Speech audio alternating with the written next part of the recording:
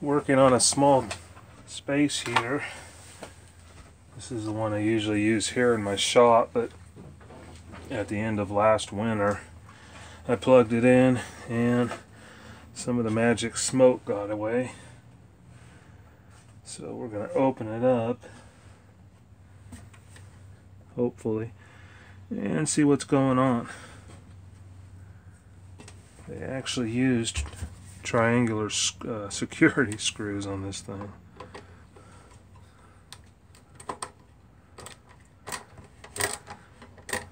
Typically when a space heater starts to smoke, it's one of two things. Either there's a loose connection in there, and that's smoking, because space heaters typically draw a lot of current. A loose connection can go bad quickly.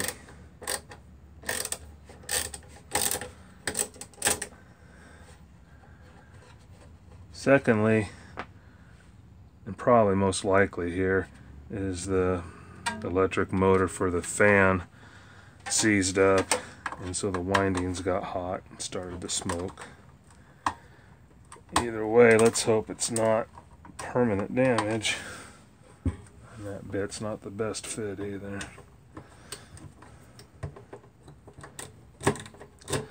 Another common reason for them to smoke, of course, is burning dust, but quite different from electrical smoke. And so I know I don't have a dust issue.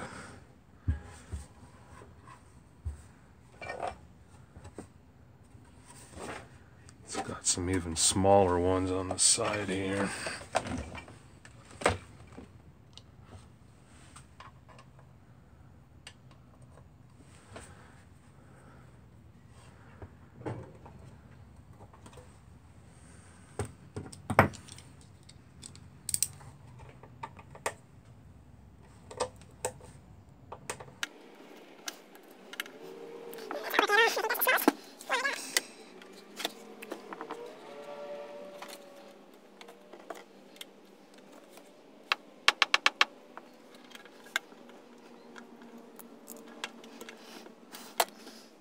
Hang tight while I try to come up with a clever way to get those out.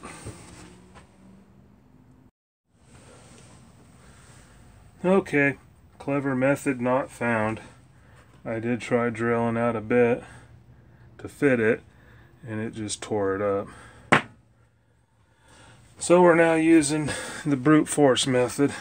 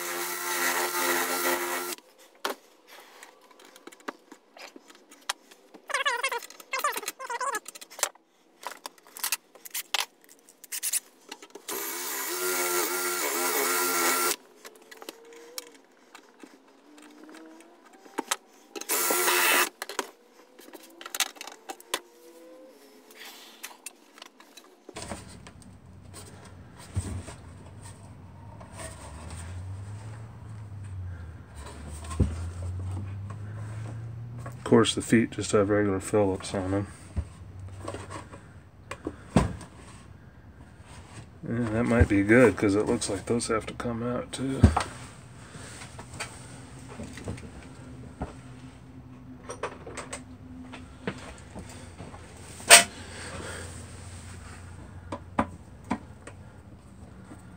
They did not want people inside this heater.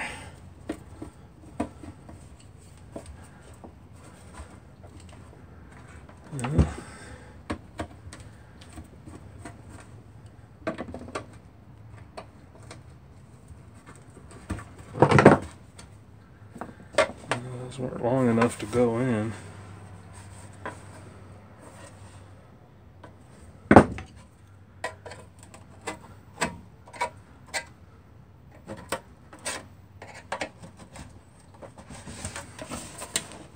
we're still hung up down here.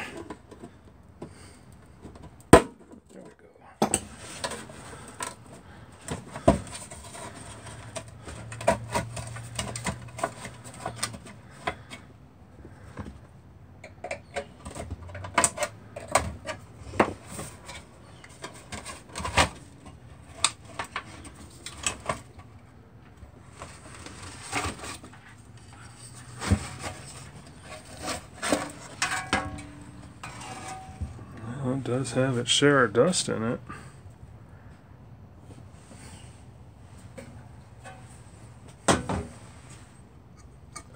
And the fan is not seized.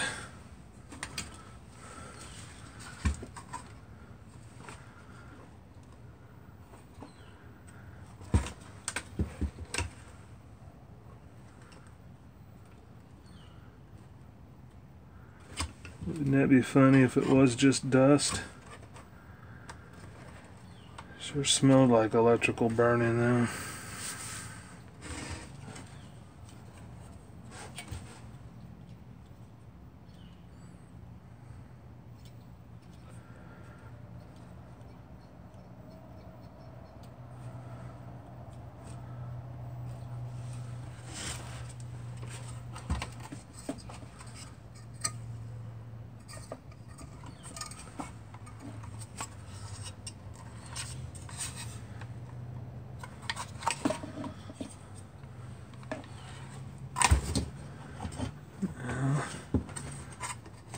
That might be it right there. It's a little corroded. Insulation looks a little melted there.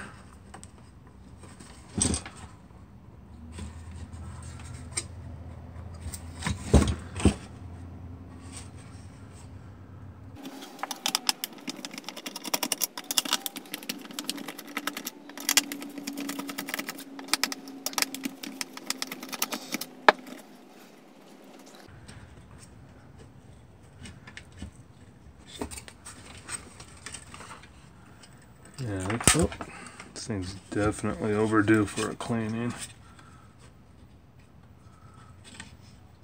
Uh, that thing couldn't even breathe through that. And you can see the end of the motor shaft there so you can put a drop of oil in there.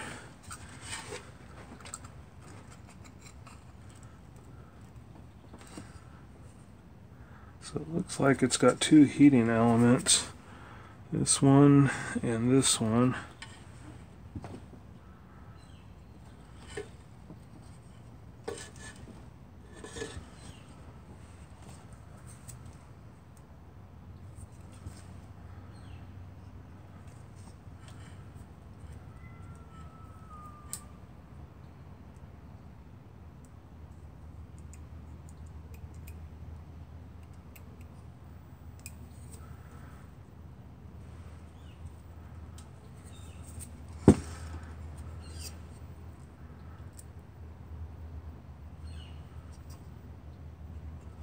The second one that has the uh, corrosion on it.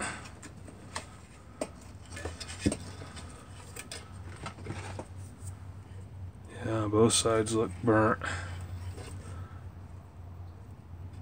And that is loose.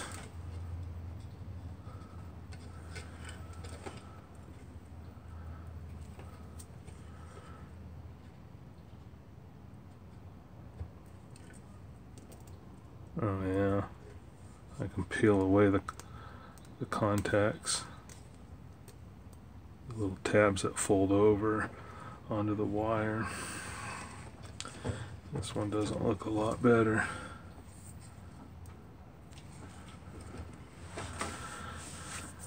Problem is that eyelet they used is also riveted to the frame which holds the end of the heating element. So if I drill out that rivet, it's going to unwind the heating element. I need to cut that off and put a new eyelet on it. Yeah, this must be the primary one. So it's got more hours on it. Because this is the uh, heat control switch here. So you can turn it on uh, high and low. So low probably just runs the one element because both of these leads go into that switch where the line is. So yeah, on low, there's off, fan only, low heat and high heat. So low heat, this one will be running, and high heat, they'll both be running. This is a tip switch. It's a safety switch that modern uh, space heaters use.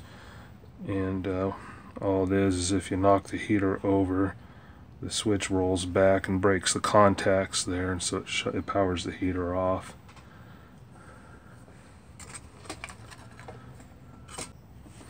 I wonder if I can cut that off and just clean that really well and then just solder the wire right to top of that eyelet because it kind of looks like that's what they did here.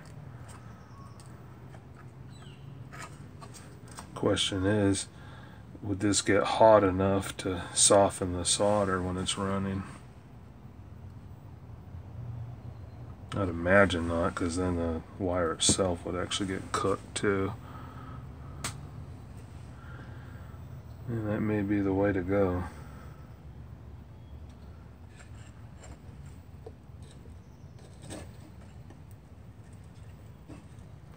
Okay, I'll bring you back when I have some progress. So I want to try that, but I also want to get some compressed air and clean this mess up. Thing's filthy. I'll bring you back.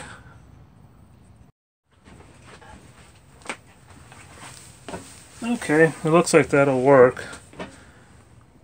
I cut those wires off, stripped them back, cut them back uh, past the burnt area, and I actually inserted them in the eyelet and soldered them in there, and they're holding pretty tight.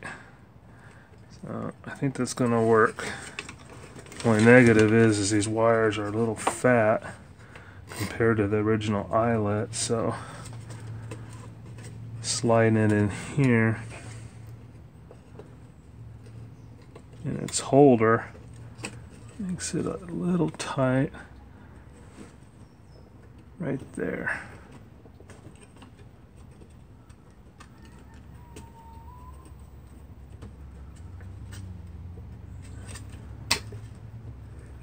That side's alright.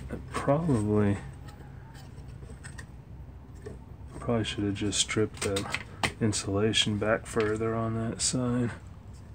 That's why this side slid in. You can see where insulation is back to here.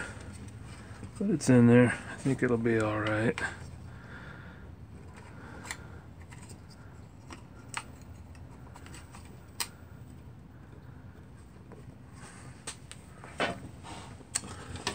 Alright, so how did this thing come apart? I guess that went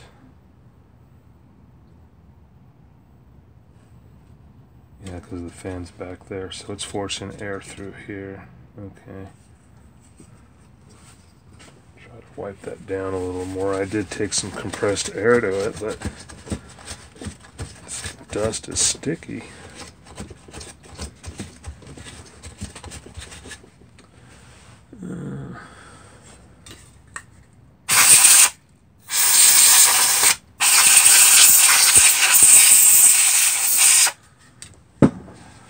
Alright, I'm just going to put a little drop in there.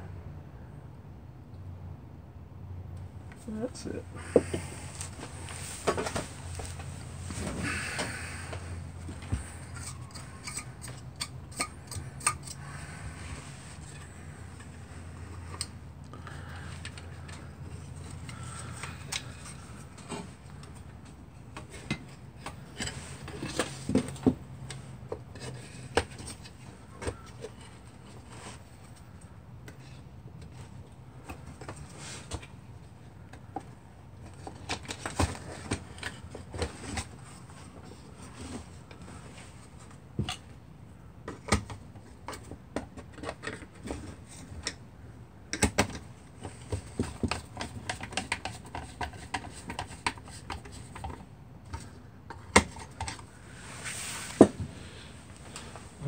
At least one of those screws hitting the ground.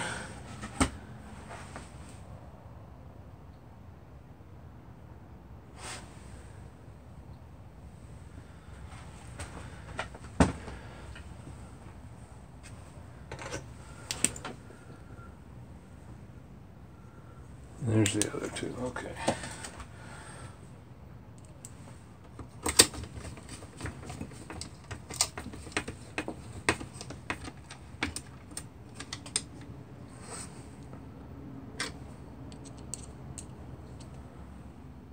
That's one of the back screws.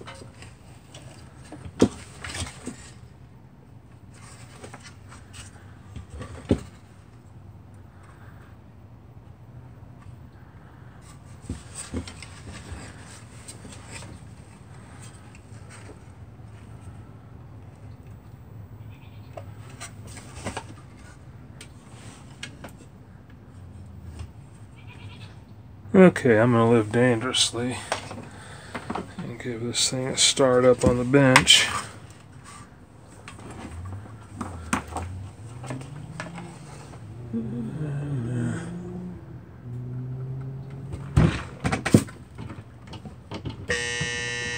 Not good.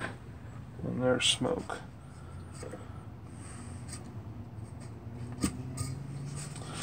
I wonder if the fan is just dead. It did not spin.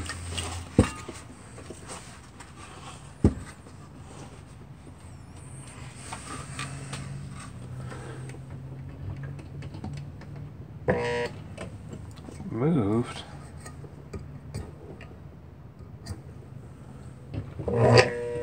Huh.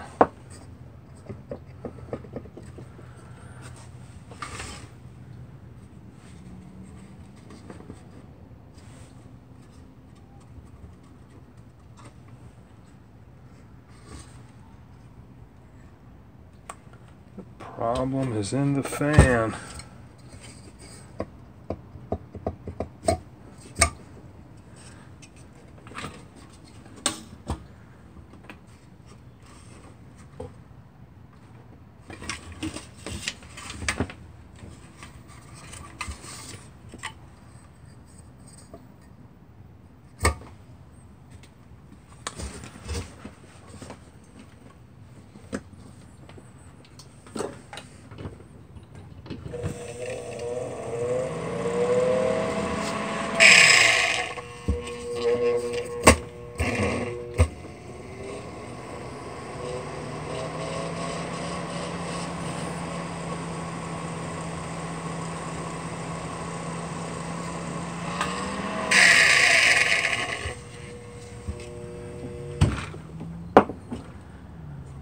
Sounds like to me the bushings are gone in that thing.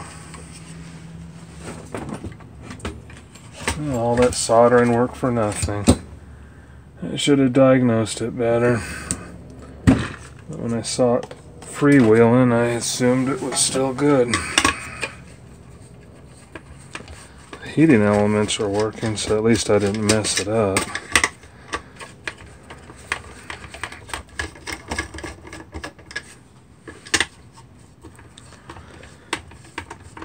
I'm going to have to see if that fan is even serviceable or not.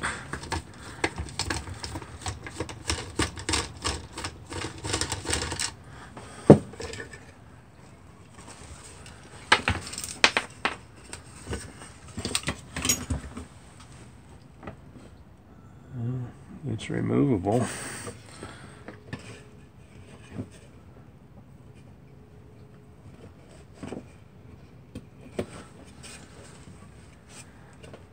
Unfortunately, it's not as simple as pulling the wire nuts because I already tried earlier.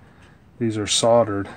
They're twisted, soldered, and uh, wire nutted. Somebody did a, a very nice job on that assembly. So I'm just going to cut it out.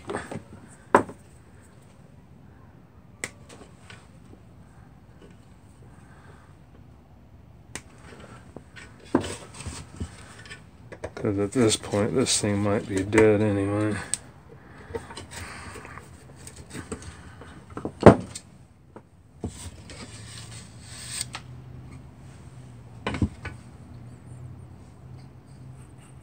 Doesn't smell burnt.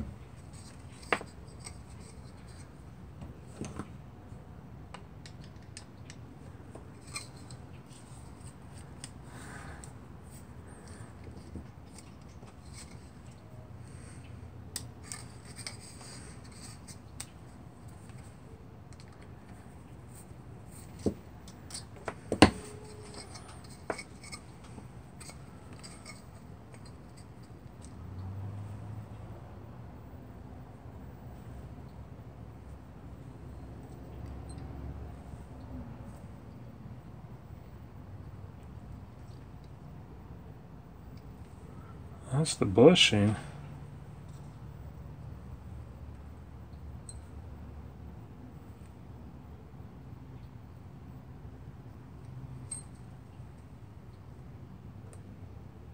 Oh, you know what happened?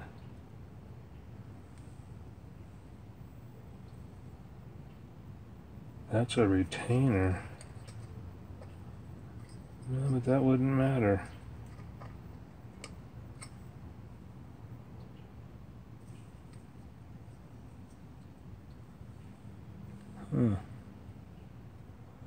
Something's not right here, though.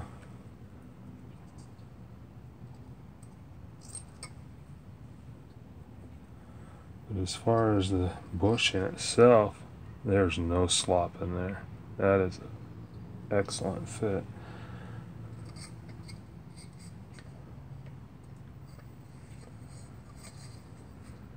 Doesn't look like orientation is a thing here.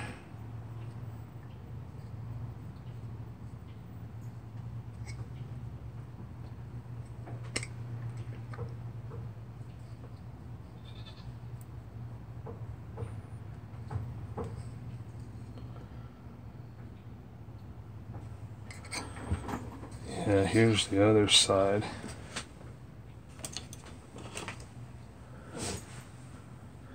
So there's that retainer and the bushing is underneath that. So to assemble them the same, that means this would fit there. And this would sit like that.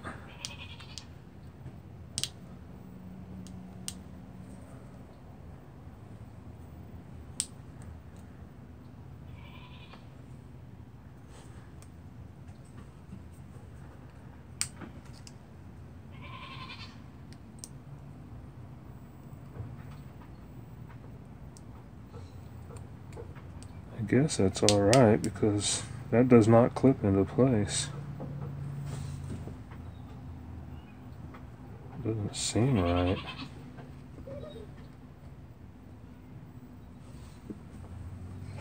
There's a little thrust washer.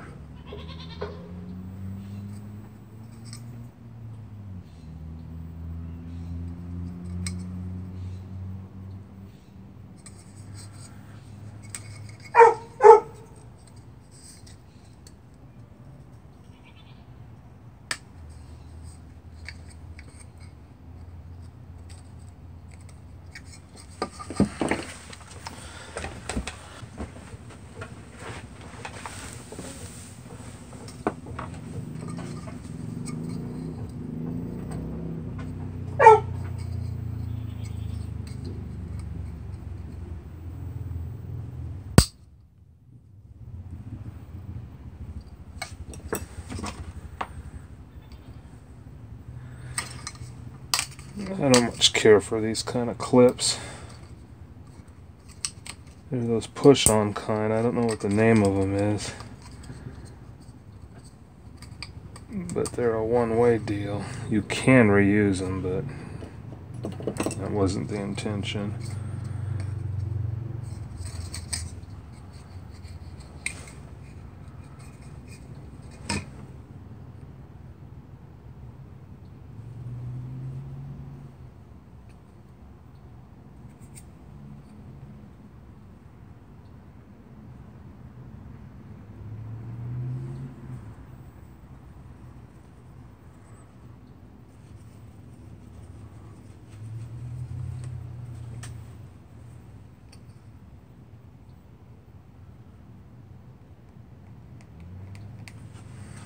and knock that burr off.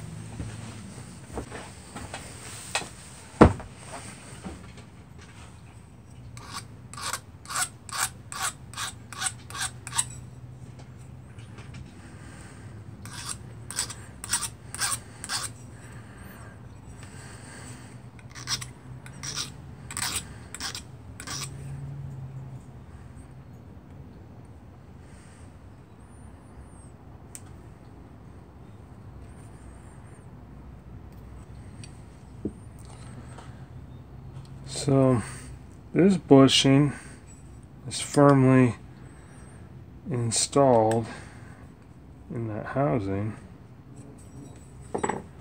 This one's not. Yeah, the bushings themselves are very tight. These the same? No.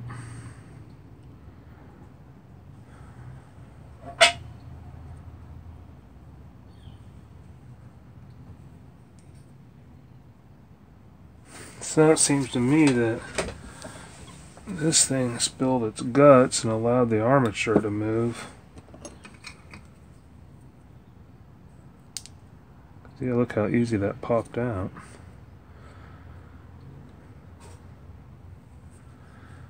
If I can uh, push these ends out a little bit.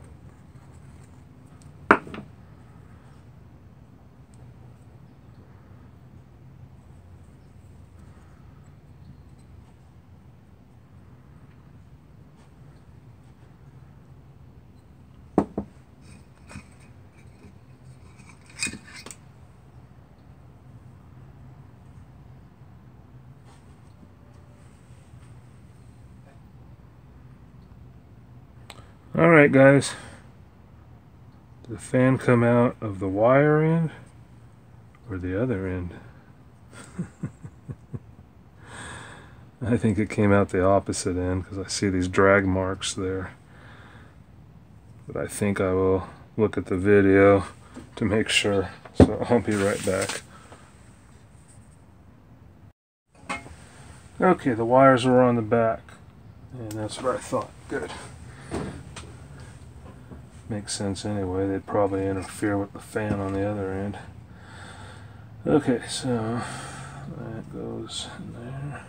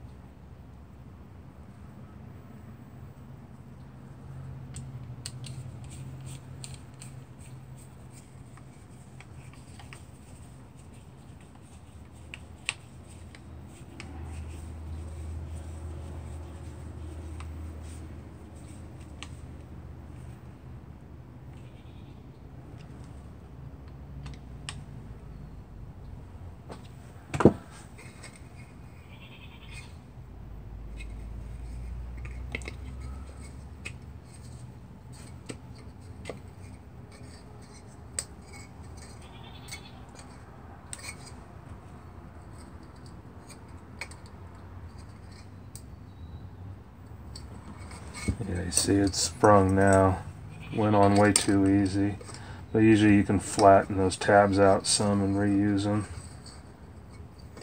Until eventually the uh, tabs break off.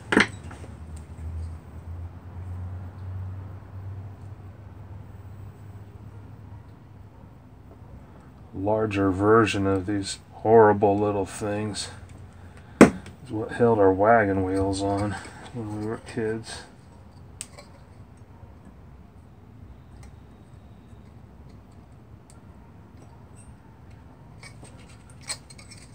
Plenty of crushed fingers working on those.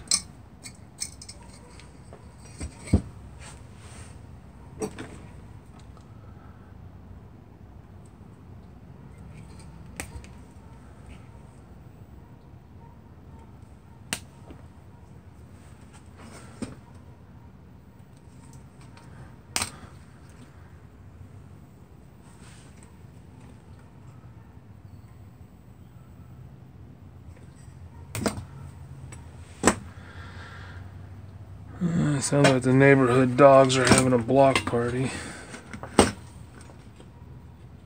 Everything's barking. Okay.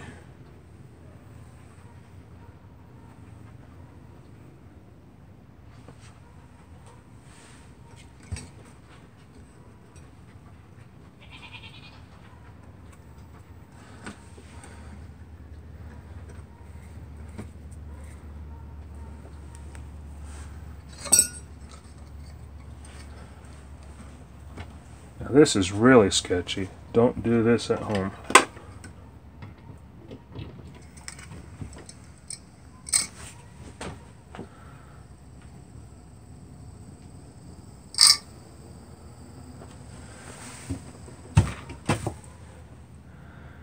Seemed to work.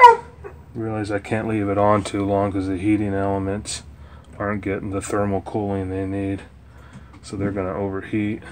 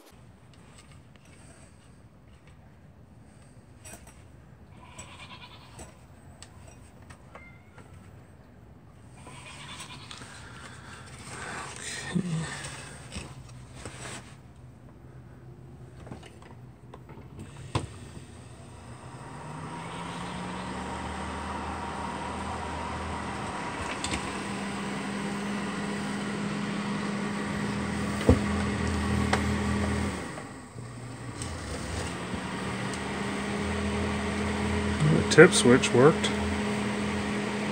It did. there we go. So that's all it was. The uh, retainer that held that bushing center popped off. So the armature wasn't sitting straight in the motor.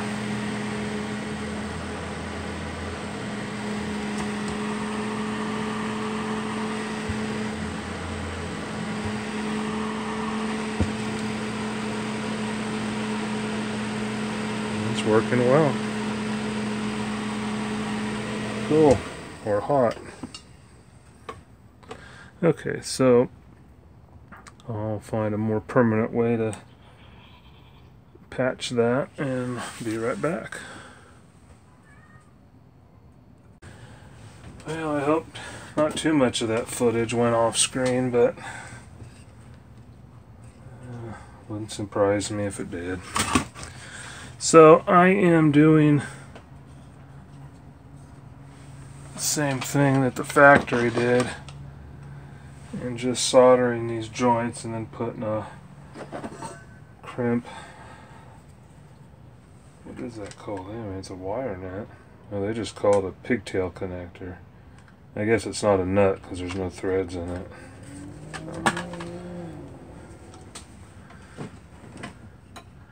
just soldering up and putting one of those on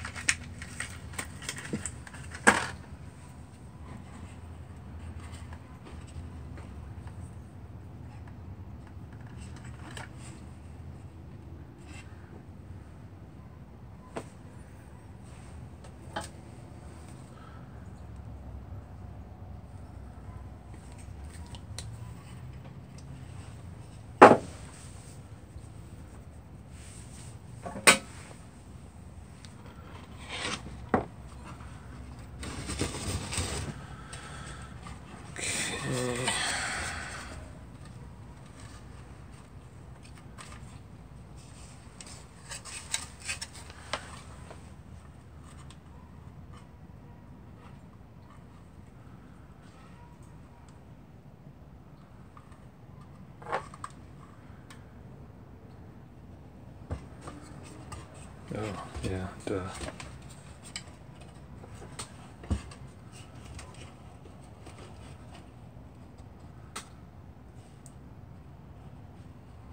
So that back didn't need to come off for disassembly. It's just this outer frame that holds it in. It did need to come off anyhow to get that fan apart.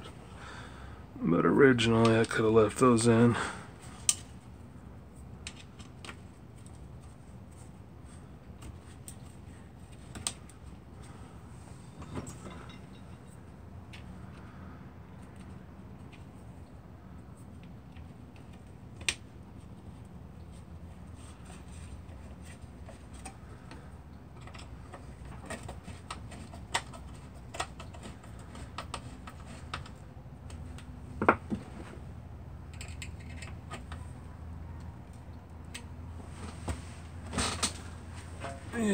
This is those triangular ones that are supposed to have that bit. This little 1 8 flat fits on one side just fine. It's driving them in, so I shall use that.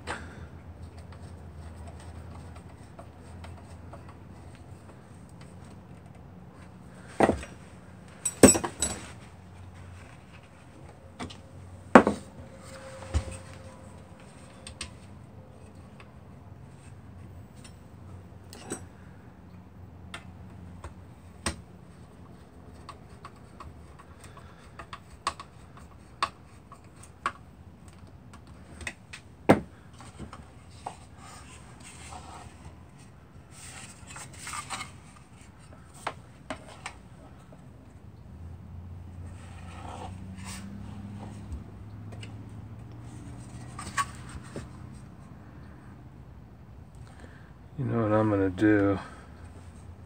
Rather than try to save those original mounts, I'm just going to reassemble and put a self-tapper right in on each side of that.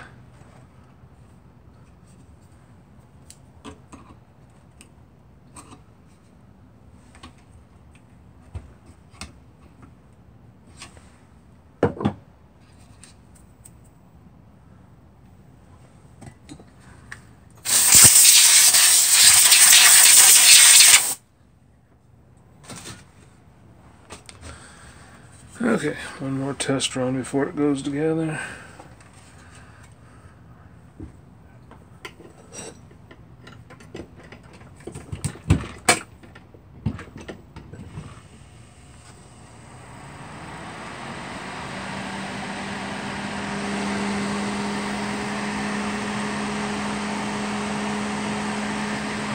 That's low. That's high.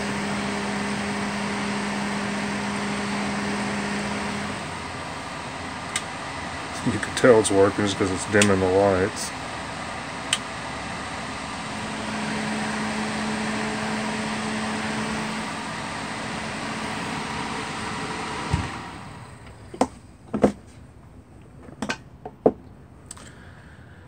All right.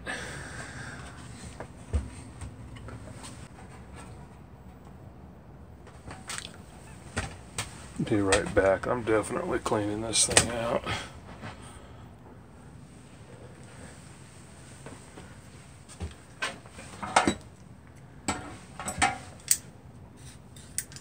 A little bit of body work.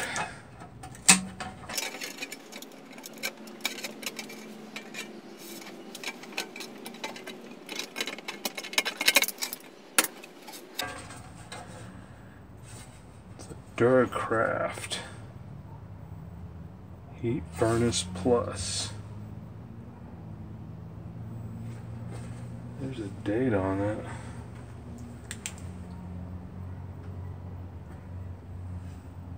That is very faint.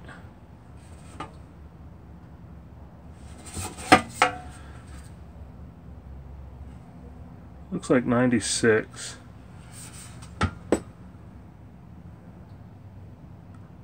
Oh seven, so July of 96. That'd be about right. This was a gift to me by my from my grandparents around that time. They had heard that this old house that I'm living in and still living in today is cold. It does get cold in here. House was built in 45, 46, I forget which right now. And it's only heated by a wood stove.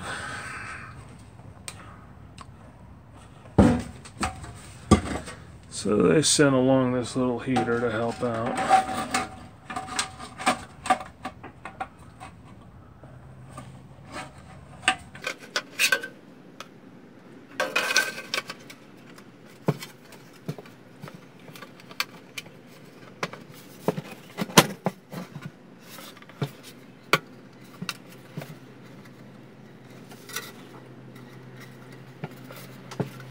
have since acquired larger and more efficient heaters, space heaters.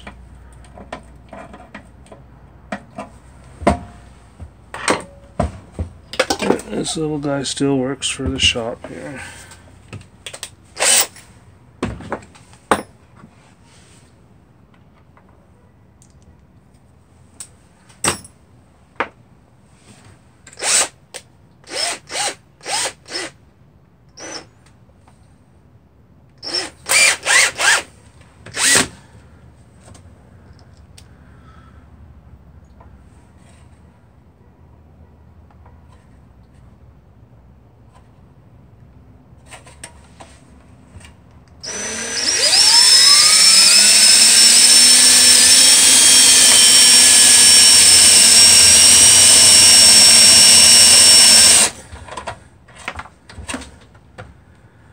I'm gonna drill a pilot hole or I'm gonna end up shoving that thing into my finger.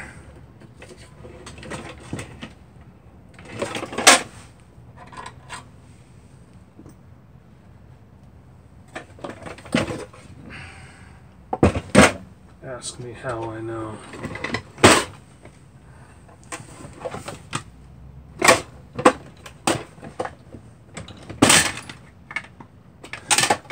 Don't drill a pilot hole. Yeah, I'll try that one.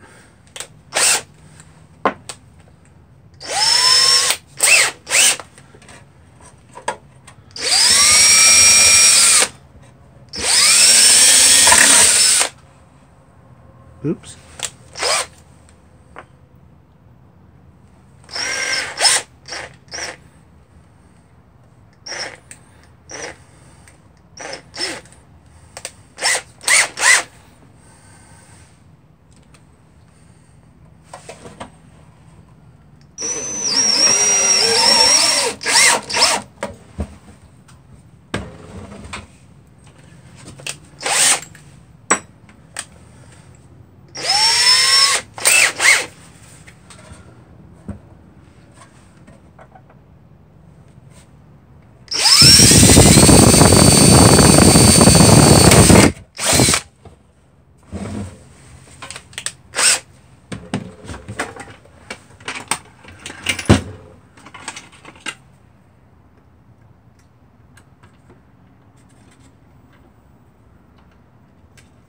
Grandparents have since passed away.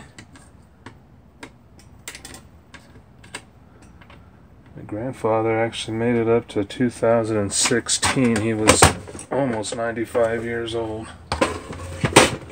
Living in his home and still self-sustaining. I think he retired from driving um, about a year before, maybe two. Guy.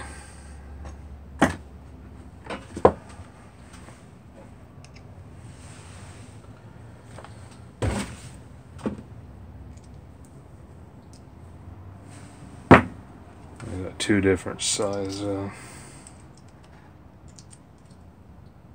that's weird. Nothing fits this one. Huh.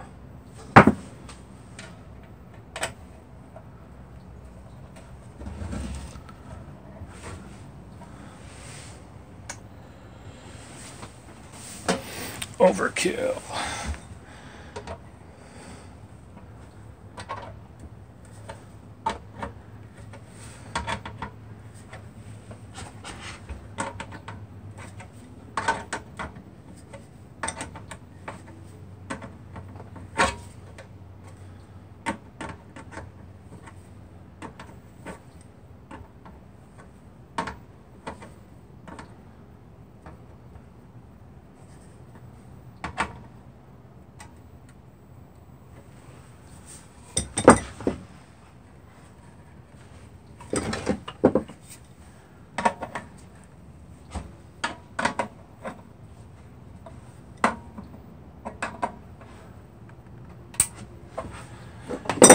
Alright. There's how she looks. Put the feet back on.